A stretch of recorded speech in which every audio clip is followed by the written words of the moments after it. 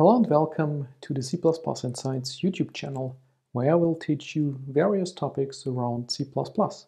I'm your host, Andreas Fertig, a trainer and consultant for C++. In today's episode, I like to show you some C++ 23 enhancement for lambdas. You all might already know that if I have a lambda like the one you see here, lamp, which does not take any parameters, I can simply omit this empty set of parentheses.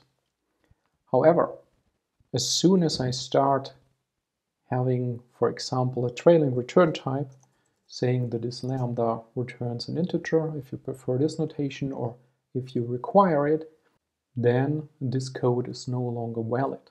C++ Insights transforms it here, but the compiler tells us that this is a C++23 extension. So this is, I think, a interesting, good extension to save us unnecessary typing.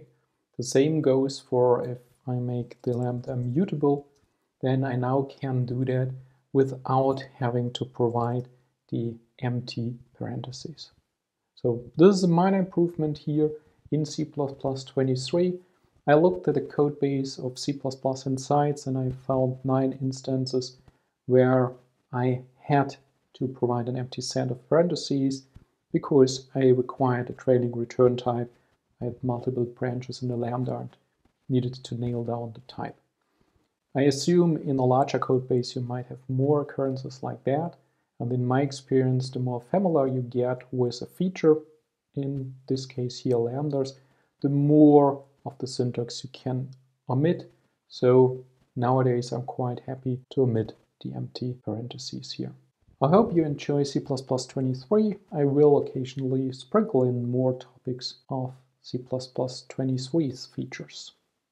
That's it for today. Thanks for watching.